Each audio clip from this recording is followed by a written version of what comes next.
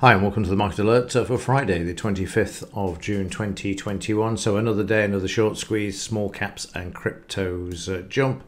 Shorts uh, were squeezed for the fourth straight day. As regards to uh, the bubble, Von Greyerz, uh, well worth uh, watching. Have a look on YouTube. He's a gold bullion dealer, got his own bullion vault in the Swiss mountains, so well worth looking at uh, his videos, really knows his stuff. Uh, as he says, the Icarus wax of everything bubble is melting. Hubris is driving humans and markets ever higher and closer to the sun, where one day the whole thing will start to melt. It's just uh, a matter of time.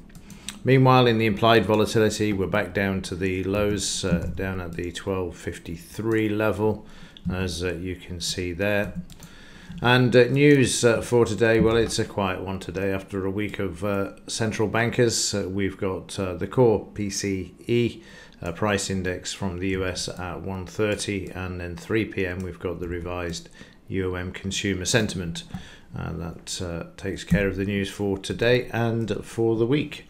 So let's have a look at yesterday. We'll start off with the Dow and we'll start off with the daily chart uh, which uh, you can see here yesterday, driving to the upside for uh, the Dow and uh, all the way up to the 20 bar moving average and the 78% retracement overnight. So prices uh, marching back, having retraced 62% from the low over here, which uh, you can see there. So from this low to this high, projected back is where the market stopped and has then turned around and moved to the upside. So now we're from uh, this high to this low projected back. So these are the fibs on the upside.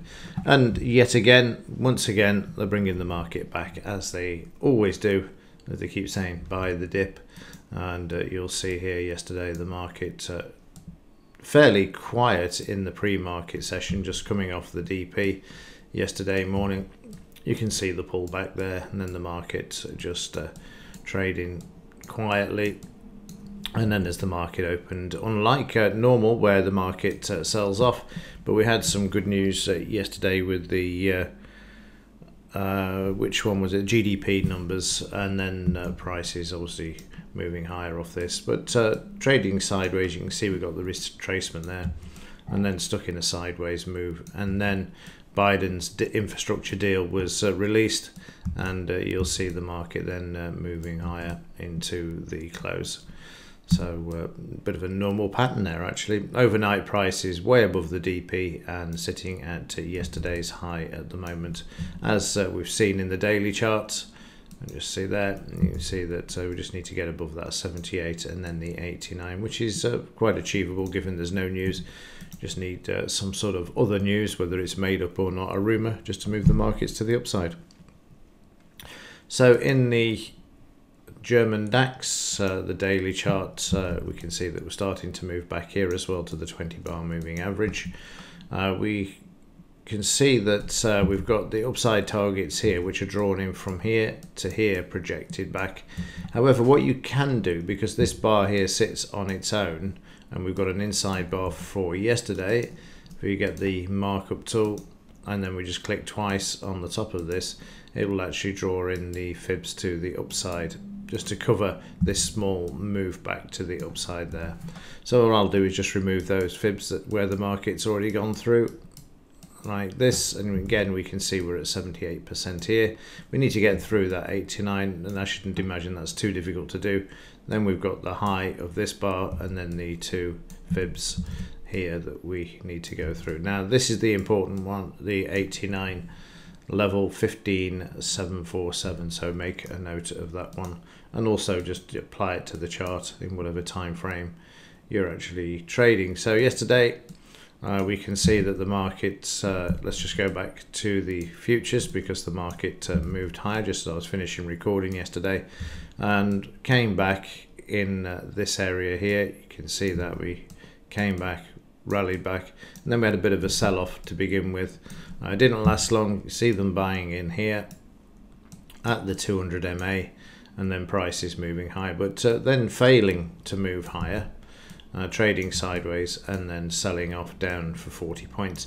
Now I've covered this trade in more detail in the member section of the website and I'll put a link in uh, the email. So there's the sideways move and then uh, we get some other news and prices then just uh, explode to the upside and move higher. And then through uh, the morning come back to the DP fairly quiet. Uh, the 130 news didn't really do a lot for the market either. The, the jobless claims uh, market just retracing again back to the 200 and then in the afternoon just sideways really really quiet uh, which given that the Dow was more or less doing the same again you can see we're just stuck in these sideways ranges and eventually prices broke to the downside but it was not really much of a move because this is uh, 50 points between the two lines so you know 25 point move and then again reacting to Biden's infrastructure deal moving up but then coming back. So overnight uh, for the DAX uh, the market uh, sitting above the DP and the 200 MA there uh, finding support once more at uh, this level. You can see the cluster of volume there. Things starting to pick up a bit at the moment, and also we're through yesterday's high. So look at this in the bigger time frame, in the 30 minute, and you can see exactly um, where we are there, moving to the upside, and uh, yesterday's action as well, moving up, and then uh, back down for 8.30, and then all the way up, and then just trending up. But again, you know, as you come step back and look at the daily chart, you'll see why. And let's just have a quick look at the five minute chart. Again, the same pattern yesterday and overnight. Uh, just gets rid of a few price bars and let's just compress this and have a look at uh, where we are in the sort of uh, micro picture as it were. So we're above uh, yesterday's high, we're above the 200, we're above the DP. On the upside, we've got the R1, the R2. Again, have a look at these areas, tie these in with the the daily chart, uh, we've got uh, 696742 was the uh, number, wasn't it? Which, uh, there we go, the R3 area is where you've got that 89% retracement in the daily chart. This number here is uh, tying in with this. So the R3 in this chart, in any chart, any time frame you're looking at, will be the uh, 89% in the daily where the market would likely stop. It's just a, matter of getting there. That's the uh, the main thing. And then finally in the metals, uh, we'll start off with uh, the silver market. Uh, no uh, slam to the downside yesterday. Struggled to move higher. Came off the highs before the close, but uh, up on the overnight market this morning. So at the moment, without tempting fate. Uh, the market finding support at that 27.50 at the moment. Uh, inside the 15 minute chart, so you can see that we had a bit of demand there. The market uh, moving to the upside, bit of selling coming in in this bar, but uh, you can expect that as you reach some sort of resistance area there as well. And a bit more detail in the five minute, again in a sideways move, the new signals or observations indicator, whatever you want to call them, picks up that buying and selling that you get in a sideways move, shows you when they're when they're buying, when they're selling, when they're buying back, when they're selling. You can see the demand there and demand there and then demand there as it uh, comes back down to complete that sort of sideways move and then prices bouncing off this and going through. In the gold market, uh, also stuck in this sideways move at the moment. Basel 3 on Monday will be interesting. Expiration of the July silver market futures on Tuesday. And in the gold market, in the 30 minute there as well, you can see uh, prices are just trying to break above the DP level there. Meanwhile, the dollar index is uh, sideways. And I don't think this is up to date actually. No, that says the 23rd of June uh, for this. So there's obviously an issue with ETX and the dollar index. So I can't give you an update on that. It doesn't look right.